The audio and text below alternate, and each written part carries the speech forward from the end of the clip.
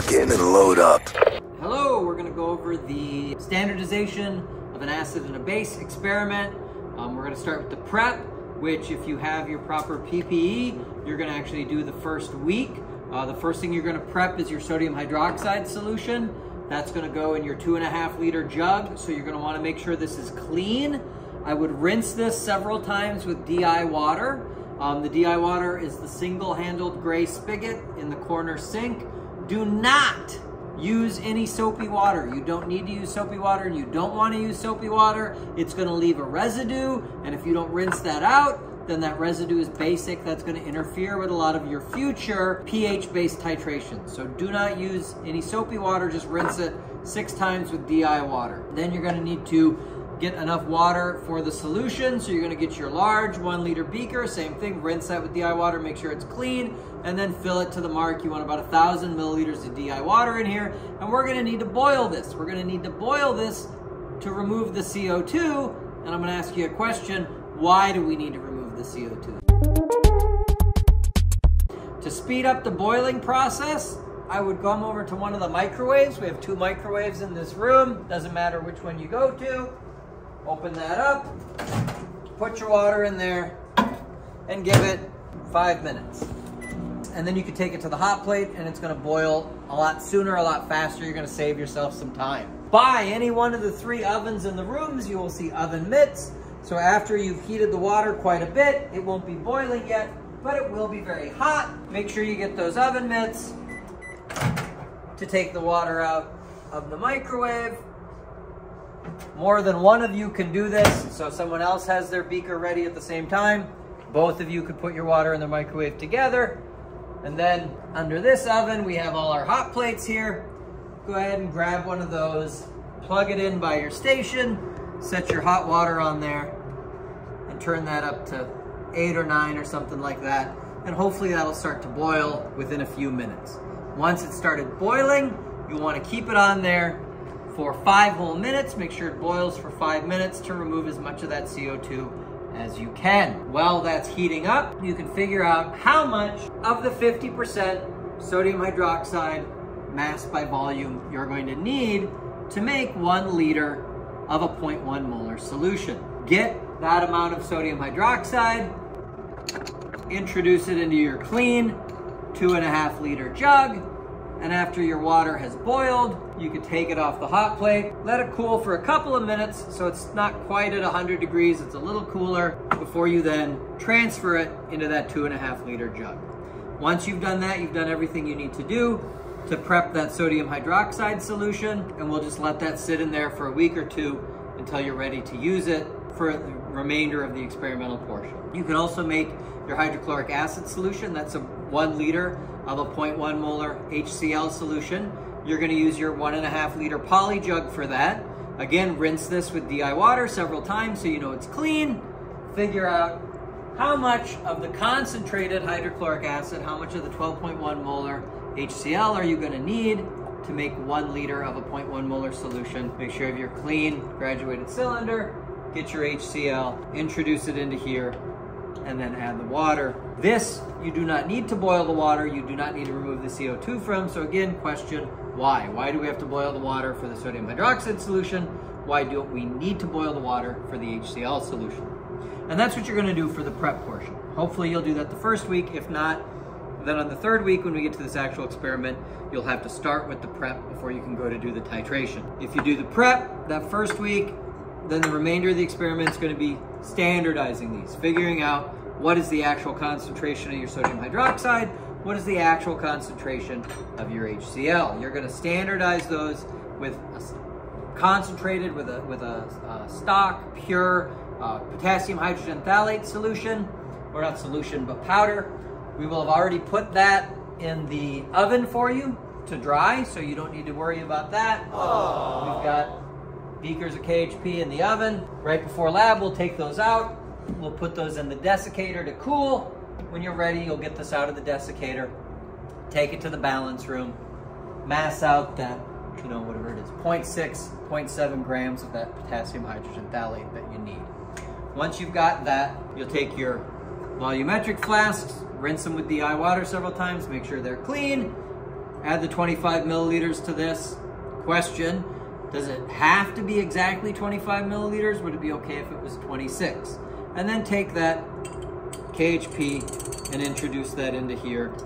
If you can, you probably want to introduce it when it's dry, and then you can see there's a little residual KHP.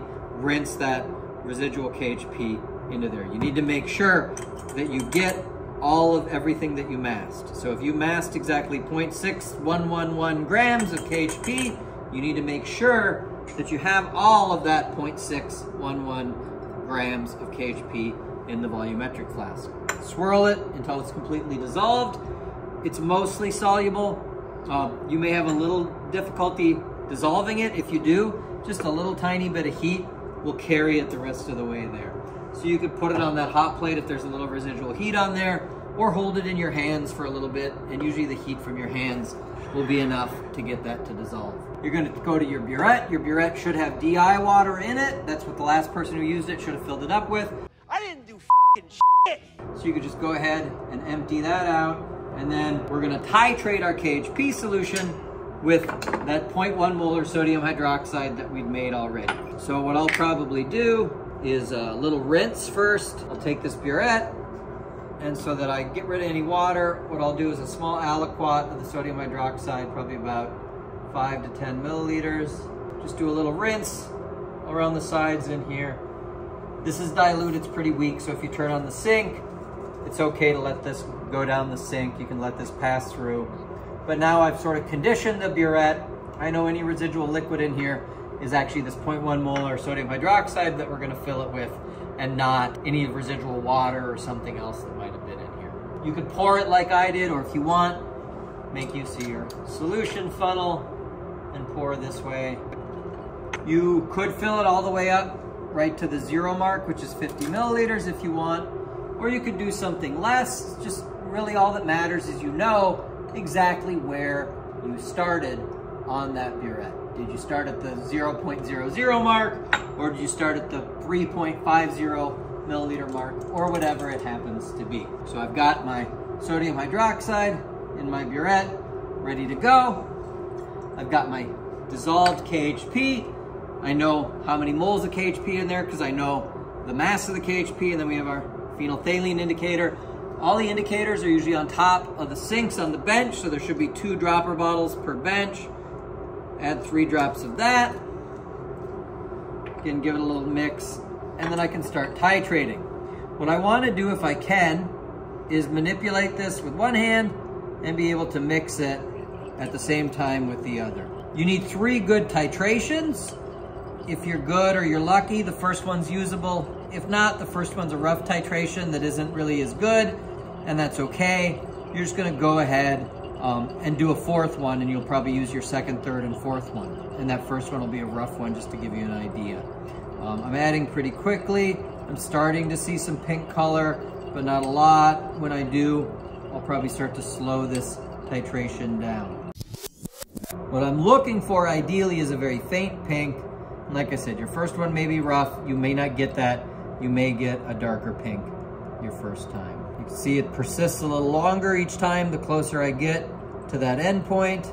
If I get really close, then ideally I'm gonna add this a drop at a time. There we go. That's a little darker than what you'd want. So you want something just a little bit lighter than that. And if you're not sure if you have a white piece of paper or something like that, you can set that under this, get a better idea. So now what I'm gonna do is come back to my burette. I'm gonna read, where did I start? You know, I started at 3.50. I ended at 22.63 uh, or whatever, and I'll figure out exactly what volume of the sodium hydroxide I added. When you go to do the HCl, you'll essentially do it the same way, but now that we've done a bunch of titrations with the, the sodium hydroxide and the standard KHP, we hopefully know what our concentration of our sodium hydroxide solution is. And then we're gonna go to our HCl. I'm gonna pour this into a secondary container. I'm gonna use my 25 milliliter pipette. This is the most uh, precise way to deliver exactly 25 milliliters. So I would take that, pull up, Okay, pull up. that 25 milliliters of HCl And then I'll ask you, in this case, does it matter? Do we need exactly 25.0 milliliters of HCl? Or is it okay if it's 24 or 26? We let that introduce that into there. We've got our 25 milliliters of HCl. And then we, again, add our indicator and titrate again with the sodium hydroxide. So ideally, you have at least three good titrations of the sodium hydroxide against the KHP, and then another three good titrations of the sodium hydroxide against the HCl. And then you can figure out what's the actual concentration of the sodium hydroxide solution you made. Save that, because you're going to use that for a future experiment. You'll probably have 700, 800 milliliters of that left. Do not dump that. And you can figure out what's the exact actual concentration of your HCl and save that. Do not dump the remainder of this because you're going to use that for a future experiment. And these are all safe to go down the sink. We'll post, you know, where the waste can go on day of the actual experiment, um, but that should cover it. So there you go.